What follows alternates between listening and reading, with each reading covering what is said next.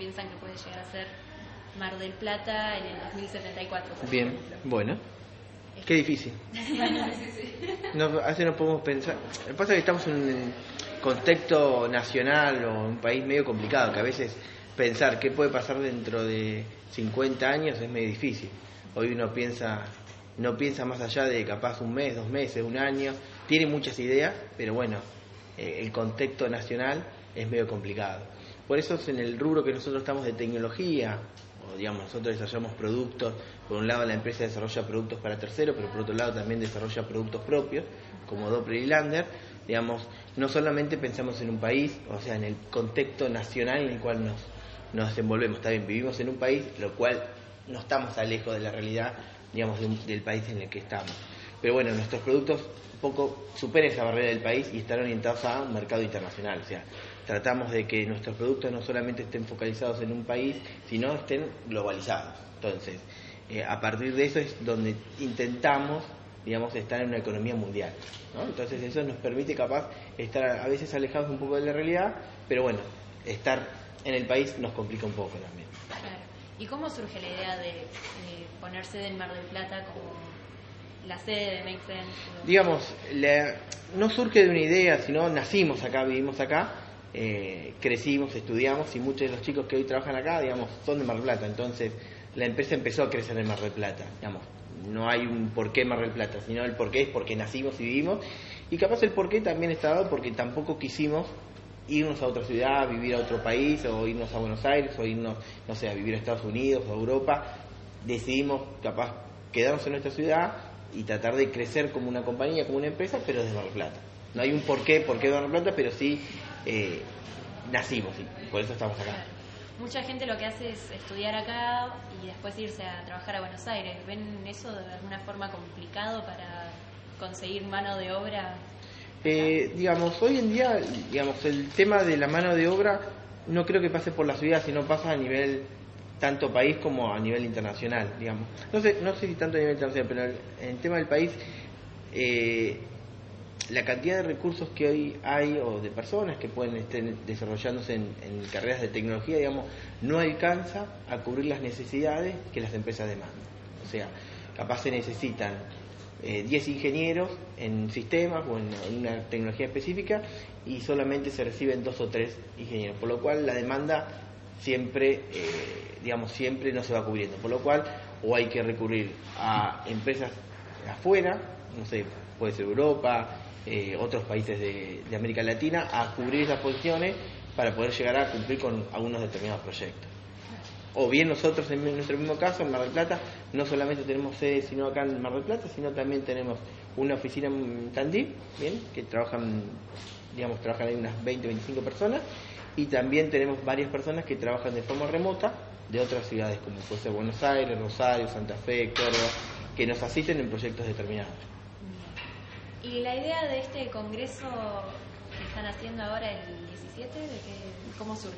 El, el MMS, digamos, es un evento que nosotros lo venimos desarrollando ya hace siete años eh, de diferentes formatos. Este es el primer, el primer año que lo hacemos en una forma, en un formato 100% online, bien, con 10 horas de, de transmisión en vivo. Eh, el evento surge por allá por el 2007, eh, digamos, donde nosotros empezamos a posicionar Doppler como una marca referente a lo que es eh, desarrollo de campañas de email marketing, donde no existía un evento enfocado específicamente a email marketing. Entonces empezamos la idea de desarrollar un evento que esté enfocado a ese tipo de industria. Y bueno, pasado en el 2007 eh, se empezó a, evolucionar este- en esta idea de este, de este evento, donde asistieron, no sé, unas 150 personas, al otro año asistieron 450 personas, y el otro año sucesivamente el evento fue creciendo. Eh, el año pasado lo hicimos internacional el evento, lo fuimos desarrollando en diferentes países de Latinoamérica, como Argentina, Colombia, Ecuador, México, España, República Dominicana y por supuesto en Argentina. Eh, y este año, digamos, para hacerlo más internacional y que todo el mundo pueda acceder, decidimos hacerlo de una forma eh, tipo webinar, donde va a haber diferentes speakers durante el transcurso de, ese- de esas 10 horas, donde va a estar el, digamos, el evento online de una forma. Y el evento online, Eh, me dijiste que es a través de webinars. Ah, a través de un webinar, exactamente. ¿Eso cómo, cómo se plantea para los distintos puntos internacionales? Eh, ¿Tenés que estar conectado a Internet y directamente de ahí va a salir? Sí, simplemente la- las personas, por supuesto, antes de alguna forma para, eh, digamos, ir teniendo, la gente se va registrando al evento. Una vez que el evento está online, la gente va a entrar a un link determinado que tiene en el registro y simplemente haciendo clic en el, en el link se va a registrar y va a acceder al evento. Simplemente así, de una forma muy simple para el usuario. No, no, no tiene que tener ninguna disposición de nada, simplemente tener una conexión a internet como para poder acceder al evento. Y la idea de congresos estaba en internet está empezando a tener, a surgir, ¿cómo decirlo? De distintas maneras. Está el. TED, eh, pero muchas veces son pagos las visualizaciones de ciertos. Evento. Sí. ¿Por qué este es gratis? Digamos, el concepto siempre nació de en sus primeros inicios. El evento siempre fue gratuito, digamos. Nunca se cobró el, el evento por, por sí, digamos. Como nació el evento allá por el 2007, el evento era gr- gratuito, digamos. Se consiguieron diferentes sponsors para hacer el evento de una forma gratis, que la, acceda- la gente acceda al contenido. Nada, fue transcurriendo los años y el, siempre el concepto del evento fue, fue de una forma gratis, digamos, Claro. que la gente no, no pague por ver algo, digamos. de una forma. Perfecto. ¿Y qué expectativas tenés para los futuros congresos? digamos, la verdad que es un, cada vez un desafío mayor, porque el evento va evolucionando año tras año.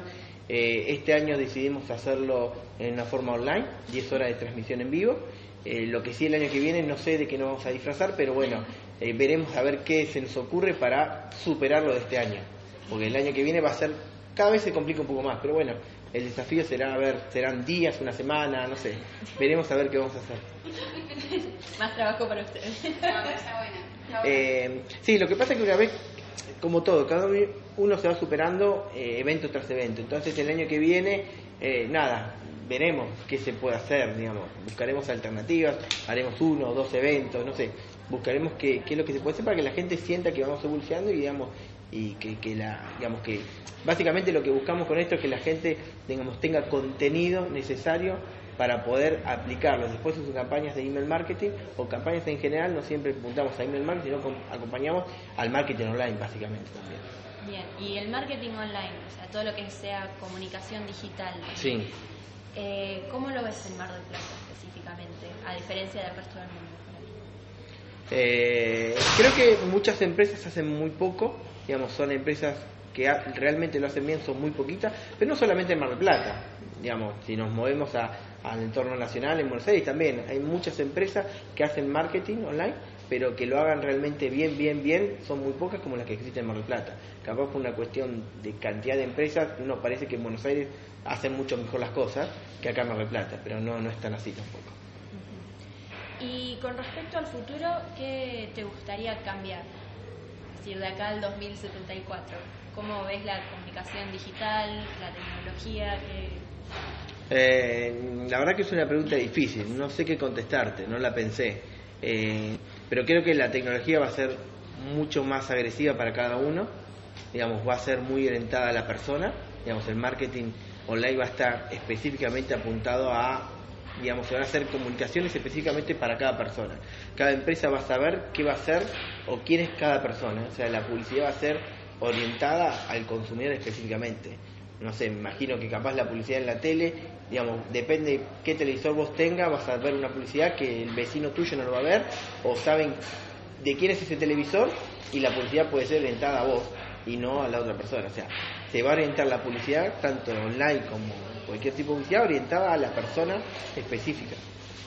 ¿No ves un poco como invasión de privacidad por ahí? O... No, es ser, digamos, es como nosotros, digamos, podemos hacer una campaña de email marketing orientada, ofreciendo un producto, identificando a cada uno de nuestros suscriptores. Y lo podemos hacer, o sea, podemos identificar si es hombre o mujer, siempre que tengamos los datos, ¿no? Por supuesto. Podemos identificar si es mujer o hombre, qué edad tiene, dónde vive, y podemos hacer una campaña específicamente para cada uno de ese, de ese grupo de personas que tenemos, customizando la campaña específicamente para esa persona. Y que cada persona a, a nivel, no sé, imagínate a nivel de la televisión, sabiendo que quién está viendo esa e- ese, ese programa, puede orientar la publicidad a ese a esa persona que está mirando la televisión. Digamos, no es nada loco. no, no es muy descabellado. ¿Pensás que para el 2074 ya va, a estar esa tecnología para poder hacerlo? No creo en el 2064, creo que dentro de pocos años va a estar. Sí, creo que la es lo que, digamos, a lo que voy es, es como agarrar una revista digital y vos vas a ver lo que vos querés ver, no va a haber una revista para todos. La misma, es como la revista esta. Esta revista es igual para todos, pero si vos la agarrás vas a ver una cosa. Si yo la agarro voy a ver otra cosa. Entonces, nada, Una publicidad mucho más personalizada. y exactamente, o el contenido. Digamos, vos vas a tener una revista y vas a decir, uy, qué buena revista, y vas a ver y vas a ver otra cosa que yo no voy a ver. Está orientada al consumidor.